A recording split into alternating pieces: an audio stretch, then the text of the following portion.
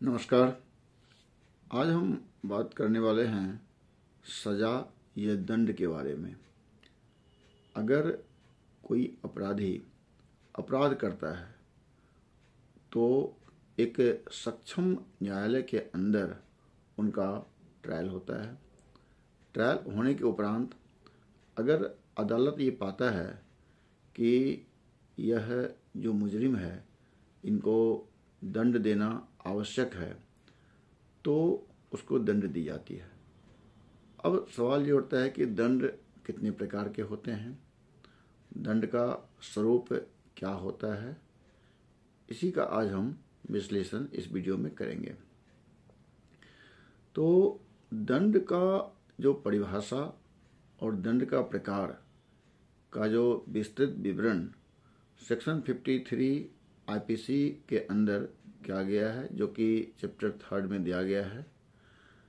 Section 53 IPC के अनुसार जो दंड होता है, या पनिशमेंट कह लें, कि ये पाँच प्रकार का होता है। पहला होता है मृत्यु दंड। अगर मृत्यु दंड दी जाती है किसी को तो इससे बड़ा तो कोई दंड नहीं होता है, और ये बहुत ही हीनियस अपराध में दी जाती है।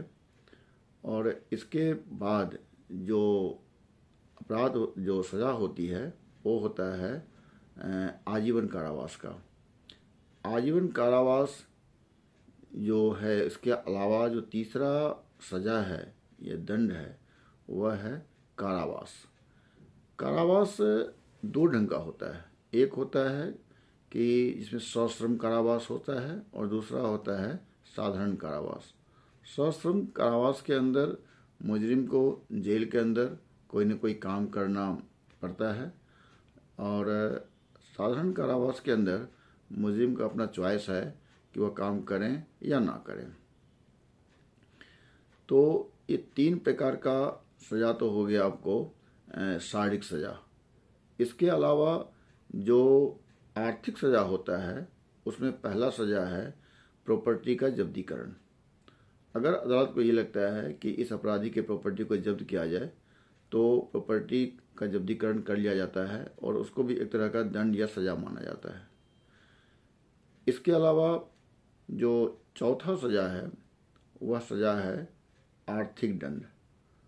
कि अगर इनको लगता है कि अदालत को कि इसको आर्थिक दंड भी दिया जाना ज़रूरी है तो चौथा नहीं, पांचवा है। कि पांचवा जो है, ये जो दंड है, यह है आर्थिक दंड। आर्थिक दंड भी दिया जा सकता है।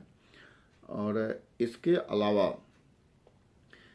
जो नया एक्ट आया है, उसके अंदर जो है, एक नया दंड का स्वरूप आया है सामने, जो कि आपको भारतीय न्याय संहिता इसके अंदर अभी हालाँकि ये नोटिफिकेशन का नहीं हुआ है लेकिन जो आईपीसी है, उसको शायद रिपील हो जाए और इसके जगह पर जो है भारतीय दंड संहिता, भारतीय न्याय संहिता आ जाए। तो भारतीय न्याय संहिता के अंदर मूलतः छह प्रकार का दंड का प्रावधान है। उसमें जो ये पाँच जो दंड मैंने बताया, ये तो दंड है ही। इसके अलावा एक दंड का और इसके अंदर इनकॉर्पोरेट किया गया है, वह है आपको समाज सेवा का दंड। जो सोशल सर्विस का दंड जो है, वह उसके अंदर दिया गया है।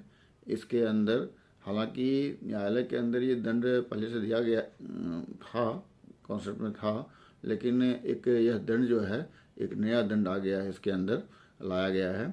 इसके अंदर अदालत जो है एक सुधार, सुधरने का मौका देता है और इसको हल्का दंड माना जाता है। इसके अंदर अपराधी को यह कहा जा सकता है कि आप मंदिर में, मस्जिद में, गुरुद्वारे में, चर्च में या किसी और प्रकार का जो है समाज सेवा करें और सक्षम अधिकारी को इसमें कहा जाता है कि आप इसका जो है सुपरवाइज करें और जो भी ये निश्चित अवधि के लिए दंड दिया जाता है तो उसका रिपोर्ट कोर्ट के अंदर फ़ाइल किया जाता है। तो यह एक छठे प्रकार का जो है ना, दंड का प्रावधान किया गया है भारतीय न्याय संहिता के अंदर। यही छह प्रकार का मूलतः दंड होता है। इसके अलावा और किसी भी प्रकार का दंड अभी तक नहीं है।